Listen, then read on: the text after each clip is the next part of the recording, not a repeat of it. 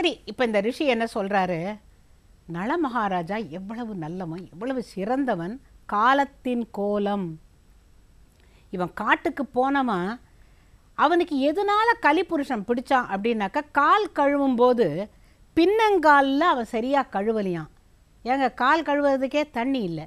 இப்போ நீங்கள் போய் நள மகாராஜா கதையெல்லாம் சொல்லக்கூடாதுன்னு நீங்கள் சொல்லக்கூடாது. அந்த காலத்தில் கால் பின்னங்கால கழுவினியான்னு கேட்பாங்க அந்த காலத்தில். அந்த காலை கழுவாததுனால கலிபுருஷன் அவனை பிடித்து ஆட்டு ஆட்டு ஆட்டுன்னு ஆட்டி கடைசியில் அவன் என்ன பண்ணுறான் தெரியுமா? மனைவியோட அங்கே ஒரு காட்டில் படுத்திருந்த இடத்துல அவன் வந்து மனைவியோட சேலையில் ஒரு பாதியை இப்படி உடுத்தி மேலே போத்தியிருந்தான். அதை அப்படியே கிழிச்சு இடுப்பில் சுற்றிக்கிட்டு போனவன் தான். போனவனை ஒரு பாம்பு கடிச்சது. பாம்பு கடிச்சு அவன் உடம்பு பூரா கருப்பாக போச்சு. ஆனால் வலிக்கலை. அந்த பாம்பு ஒரு ஆடையை கொடுத்ததுன்னெலாம் கதை போகும்.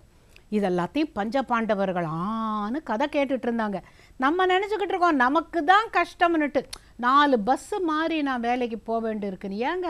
அவன் அவன் நாலு ட்ரெயின் மாறி வரானே. அவனை என்ன சொல்லுவீங்க அப்போ தான் நாம் நினச்சிக்கணும் அதுக்கு இது தேவலைன்னு.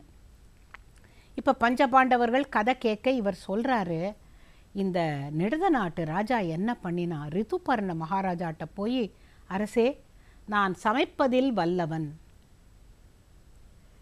தேரோட்டுவதில் வல்லவன். என் பேர் பாகுகன். நான் உங்களுக்கு வேலை செய்யட்டுமான்னு கேட்குறான் அப்போ நீங்கள் ஒரு கேள்வி கேட்கலாமே நிடத நாட்டு மகாராஜா எப்படி சமையல் கற்றுக்கொண்டான்? அங்கே தான் நான் சொன்னது தமயந்தி கதையை பூரா சொன்னால் தான் உங்களுக்கு புரியும். இப்போ தமயந்திக்கு சுயம்பரம்ங்கிற பொழுது நள மகாராஜா வந்தார். நள மகாராஜா போலவே கூடவே நாலு தேவர்களும் வந்தார்கள். அக்னி வருணன் இந்திரன் யமன் இவங்க எல்லாரும் நள ரூபத்திலே இருக்கிறாங்க. அங்கே தாங்க பொம்பளைங்களுக்கு மூளை ஜாஸ்திங்கிறது அந்த கதையில் புரிஞ்சுக்கலாம். எப்படின்னு கேட்டால் அவன் அங்கேருந்து வரா மாலை எடுத்துக்கிட்டு. ஆடாடா அஞ்சு நலனில் இங்கே உட்காந்துருக்கிறா இதில் எது நெஜம் அப்படின்னு பார்க்குற பொழுது அவங்க கண் சிமிட்டலை இந்த நாலு பேரும். நலன் கண்ணை சிமிட்டுறான் அவனுடைய மாலை வாடி இருக்குது அவன் அந்த மாலையில் தேனியெல்லாம் சுற்றிக்கிட்டு இருக்கு அவன் கால் பூமியில் இருக்குது அப்பாடா இவன் தான் மனுஷன் சொல்லி அவன் மாலையை போட்டான் அவளுடைய சாமர்த்தியத்தை எண்ணி அந்த நலமகாராஜாவுக்கு வருணனும் அக்னியும் ஒரு வரம் கொடுக்குறாங்க. என்ன தெரியுமா? நீ எங்கே நினச்சாலும் அங்கே உனக்கு அக்னி வரும். வருணன் என்ன சொல்கிறாரா உனக்கு எங்கே வேணுமோ அங்கே நான் தண்ணியாக உனக்கு வருவேன். அப்போ யமன் சொன்னாராம் யாராலையும் சமைக்க முடியாத அளவுக்கு நீ தொடாமலேயே சமைக்கலாம். அப்படிப்பட்ட உனக்கு ருசியான சமையல் பண்ணக்கூடிய ஒரு வரத்தை தருகிறேன். ஏன்னா நீ வந்து தமயந்தி கிட்ட போய் சொல்லு தேவர்கள்லாம் வந்திருக்காங்க. அதில் நாலு பேரில் யாரான்னு ஒருத்தரை தான் தேர்ந்தெடுக்கணும்னு போய் சொல்லுன்னு சொன்ன பொழுது இன்னொருத்தனார் தான் நான் அந்த சுயம்பரத்துக்கு வந்திருக்கேன் நானே போய் எப்படி சொல்லுவேன்னு நீ நினைக்கல. தமயந்தி இவங்க நாலு பேர் வந்திருக்கா உனக்கு இஷ்டமானா அவங்களையே நீ மணந்துக்கலான்னு சொன்ன பாரு அதுக்காக. இப்போ நம்ம என்ன புரிஞ்சுக்கணும் தெரியுமா? நம்ம நல்லதே பண்ணினோன்னா கண்டிப்பாக நல்லது தான் நடக்கும். பாரி பார்த்தீங்களா இப்போ ரித்துபர்ண மகாராஜா கிட்ட போய் இவன் சமைக்கிறான். அவ்வளோ ஜோராக சமைக்கிறான். இந்த சமையலை வச்சு தான் பின்னால் தமயந்தி கண்டுபிடிக்கிறா. இந்த சமயக்காரன் தான் தன்னுடைய கணவன். அது கதை வேற. நான் இப்போ அப்படியே டீவியேட் பண்ணல. உங்களுக்கு இதை ஒரு சின்ன ஒரு ஜலக் காட்டினேன். ஏன்னு கேட்டால் இது ஒரு முன்னோடி மாதிரி ட்ரெய்லர் நல்லா இருக்குன்னா அந்த நலச்சரித்திரத்தை பூரா பேசலாம். இதை கேட்டுருந்த பீமன் பார்த்தானா ஓஹோ நள மகாராஜாவே பாகுகன்கிற பேரில் சமையல்காரனாக இருந்திருக்கான். அப்போ நானும் என்ன பண்ணுறேன் இந்த அஜ்ஞாத வாசத்தில்? விராட்ட ராஜா கிட்ட போய் நானும் சமையல்காரன் ஆயிடுறேன். ஏன் தெரியுமா? ரெண்டு ப்ராஃபிட் ஒன்று எனக்கும் நிறையா சாப்பிடணும். நானே தலைமை குக் ஆக இருந்தால் நான் எத்தனை வேணால் சாப்பிட்லாம். அந்த காலத்தில் நினச்சது உண்டுங்க. சமையலறை தான் பெண்களுக்கு ரொம்ப சிறந்தது. ஏன் தெரியுமா? சின்ன வயசில் இந்த மத்தியான வேளையில் எல்லாரும் தூங்கும்போது முந்திரி பருப்பு திராட்சை பழம்லாம் கொஞ்சம் திருடி திங்கிற வழக்கம் உண்டு. சின்ன குழந்தைங்களுக்கு.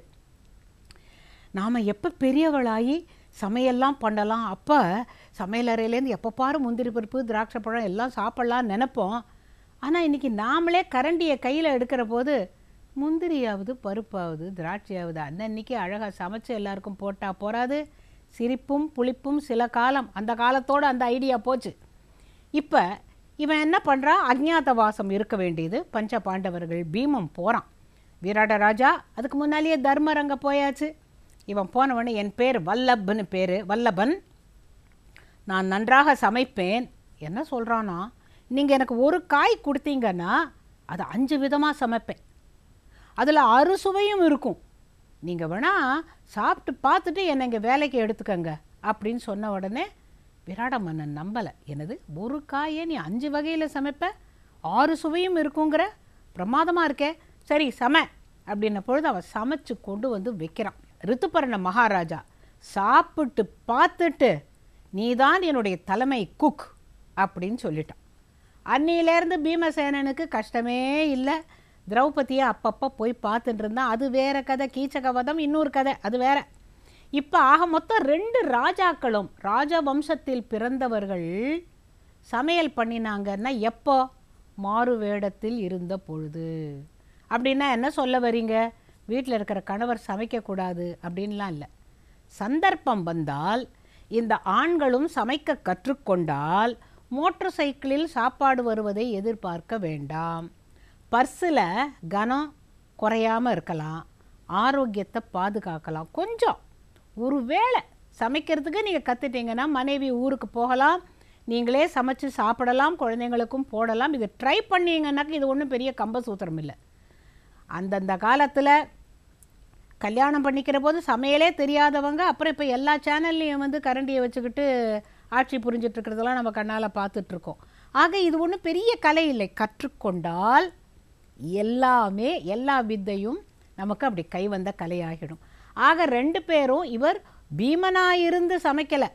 அவர்கிட்ட என்ன சொல்கிறேன் நான் பீமன்கிட்டயே சமைச்சிருக்கேன்லாம் சொல்லியிருக்கான். ஆ? அப்போ மாறுவேடத்தில் இருந்தபொழுது பீமனும் சமைத்தான் நளமகாராஜாவும் சமைத்தான் இவன் பாகுகனாக இருந்தான். அப்படிங்கிறதெல்லாம் நம்ம கேள்விப்படுறோம். அப்படி என்ன சமையலில் என்ன இருக்குது அப்படின்னு கேட்டிங்கன்னா ஒரு விருந்தில் ஒரு தலைமை குக்குன்னு ஒருத்தர் இருப்பார். மற்றவங்கெல்லாம் சமைப்பாங்க காய்கறி நறுக்குவாங்க அலசுவாங்க போடுவாங்க பொறிச்சு எடுப்பாங்க. இவர் எல்லாத்தையும் பார்த்துட்டு கடைசியில் அந்த ரசத்தில் ஒரு சின்ன ஏதோ ஒன்று இதை வறுத்து பொடி பொடி கொண்டா அப்படிம்பார். அவர் கையால் அந்த ஒரு ரசத்தில் அந்த ஒரு பொடி இல்லை சாம்பாரில் ஏதோ ஒன்று போட்டார்னா தனியாக அந்த மனம் தூக்கும். காரணம் அனுபவம். அதே தான் பெண்களுக்கும் அனுபவத்தினால அற்புதமாக சமைக்க முடியும்.